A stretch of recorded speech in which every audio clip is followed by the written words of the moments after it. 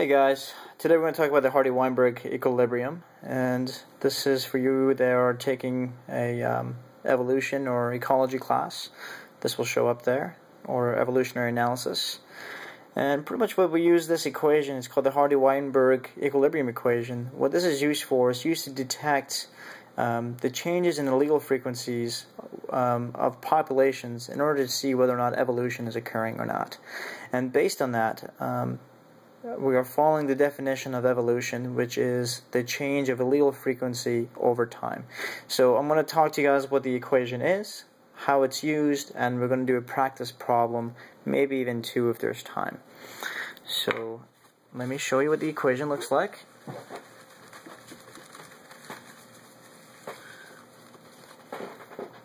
Alright, so the Hardy-Weinberg equation is going to be p squared plus 2pq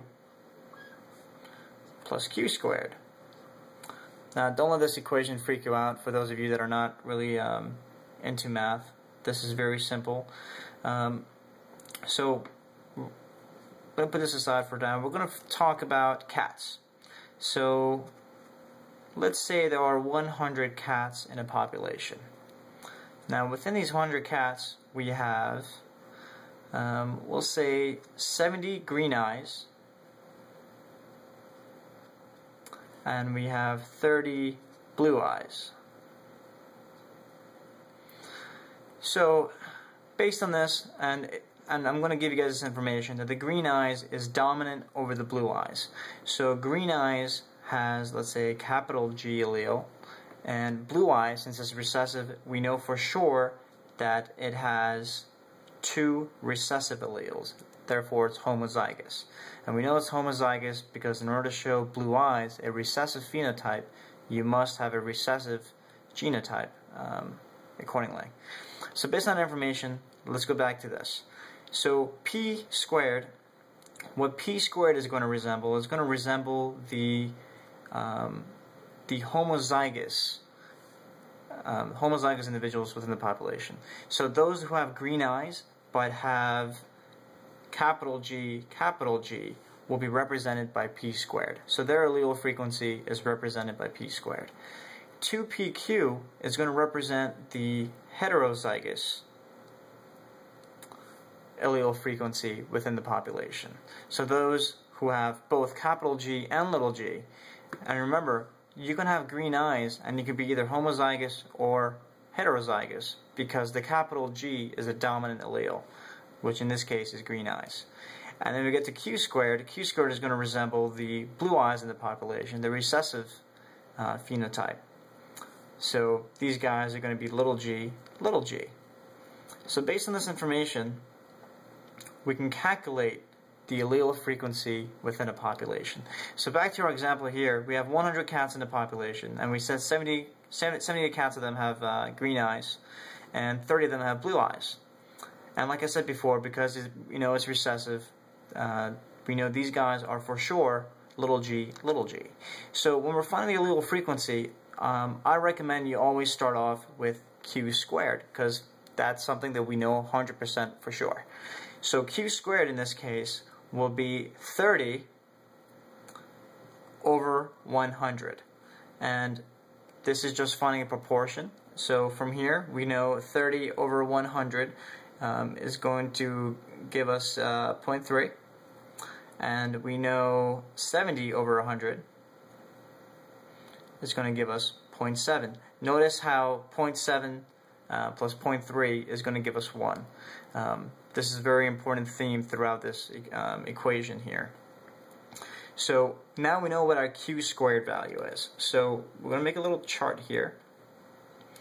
We know uh, q squared is going to equal 0.3 because q squared is going to resemble the homozygous recessive genotype um, allele frequencies in the population, which we found to be 30 over 100.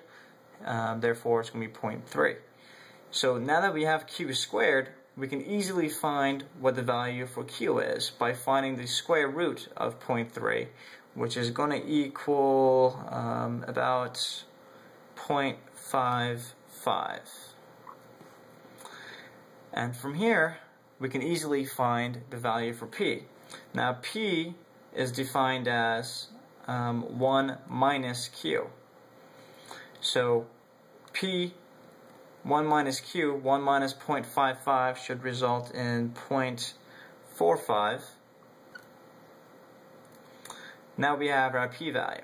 And from here, we can find p squared by simply just finding the um,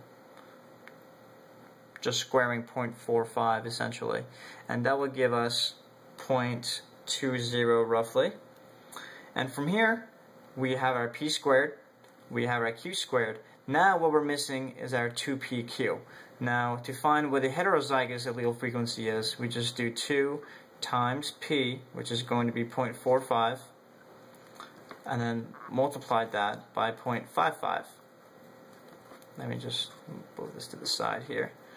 And this is to find 2pq and 2pq is going to give us roughly 0.50 now let me clean this up a little bit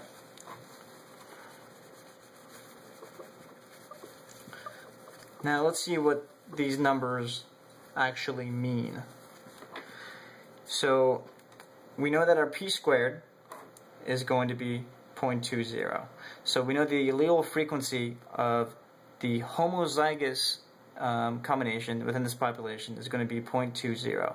And we know that the allele frequency of um, of this of this genotype, capital G, little g, is going to give us approximately 50%. And Q squared we found to be 0.3. So we know what the allele frequency is with, for this population of 100 cats. Now, where we use the Hardy-Weinberg principle is when we compare this population. Suppose we calculate these allele frequencies at time point, um, we're going to say time point x naught, so the starting point. And we come back about, let's say, 100 years. After 100 years, we find that these allele frequencies have changed. So for example, for the heterozygous, um, we said it was 0.50 here at, um, at x naught after 100 years, we find that the um, heterozygous genotype uh, frequency has shifted to 0.75. This is completely hypothetical. We can see, we can say that there's a clear difference between 0.50 and 0.75. Therefore, in this particular population of 100 cats, the allele frequencies have changed. And by the um, definition of evolution, which is defined as um, allele frequency over a change of allele frequency over time, we can infer that there is some common evolutionary event occurring within this population. And this is um, essentially what the Hardy-Weinberg principle is used for in ecology and evolution.